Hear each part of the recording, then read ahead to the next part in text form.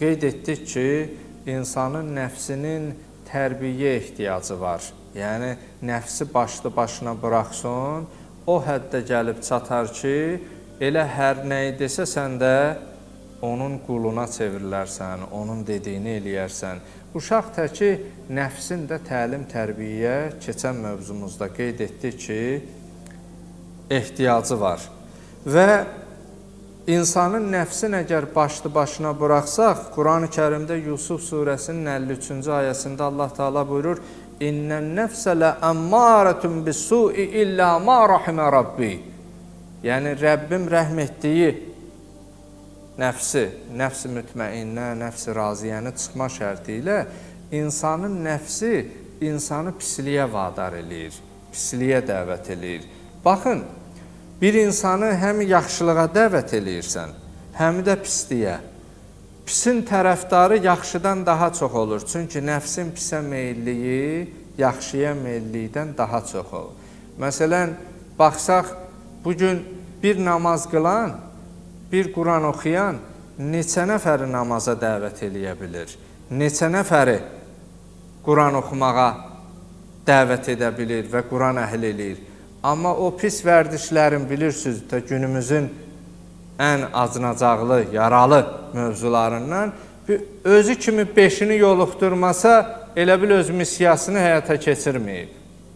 Amma görək sən namaz qılan, Quran oxuyan neçəsini dəvət elədin? neçəsini gətirdin? Buradan elə məlum olur ki, insan o pisə daha çox, daha tez meyl eləyir. Yaxşını sənə zaman lazım, vaxt lazım ki, onu izah eləyəsən, qəbul eləyə, başa düşə. Allah Taala nəfsimizə həm yaxşılığı, həm də nəfs olaraq bildirmiş, bəlli etmiş. Amma yalnız nəfsini təzkiyə edənlər, paklayanlar nicat tapandılar. Qurani-Kərimdə Mübarək Şəms surəsində xatırlayan aramızda tələbə qardaşları, əzizləri görürəm. Quran oxuyanlar da bilər. "Və nəfsin və mə savaha" Allah Şəms surəsində nəfsdən söz açır.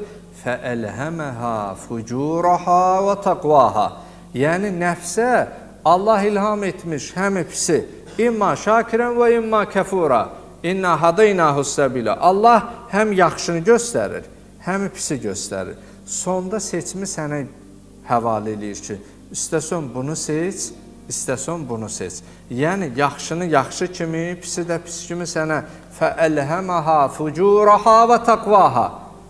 Və ardıca buyurur, qad əfləhə mən zəkkaha. Bu zümrədə, bu dəstədə yalnız nəfsini təzkiyə eləyən, tərbiyə eləyən, paklaşdıranlar nicat tapdı. Yəni nəfsin təlim, tərbiyə mütləq ehtiyacı var. Bir sözlə insan əqilli varlıq, düşüncə, aqil olduğundan, əqil sahibi olduğundan yaxşı və üstün və fəzilətlilərə can atmalıdır. Çünki insan həmişə hər şeyin yaxşısını özü üçün istəyir də.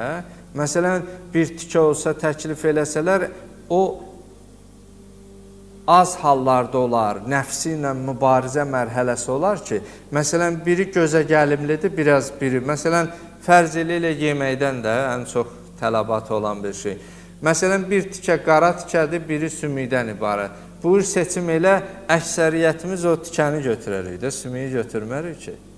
Yəni, ən yaxşını həmişə özümüzdən qabağa, hətta odur ki, məsumlarda xüsusilə İmam Zeynül Abidin, Bimar ağa, İmam Səccadın dördüncü imamımızın haqqında yazıblar ki, Həzrətin dilindən Həzrət buyurarmış ki, mən bir dəfə də olsun süfrədə atamdan, anamdan öncə əlimi neyisə uzatmamışam. Həzrətdən soruşanda gör, hara qədər nəfsin tərbiyəsi ilə, təzkiyəsi ilə məşğul olub. Ola bilər nəzərində o, o tikəni seçib, mən onun seçdiyini ondan qabaq götürərəm. Gözləmişəm o süfriyə əl uzatsın, götürsün, sonra mən onu götürəm. Yəni bu qədər nəfsin tərbiyəsi ilə məşğul olublar.